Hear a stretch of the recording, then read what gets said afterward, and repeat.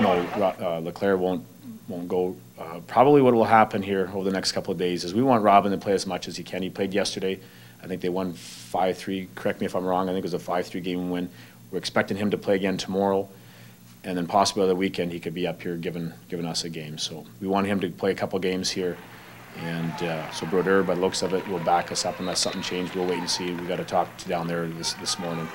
Uh, They played three games in three nights. We just want to make sure everything's clear with them, who's healthy, who's not, and then we'll go from there. But we want to get Robin in maybe one more game, and we'll see how this weekend goes, because right now I think we've got Thursday, Friday, Sunday, so three games in four nights, so it's, it's, it's a pretty tough schedule ahead of us here.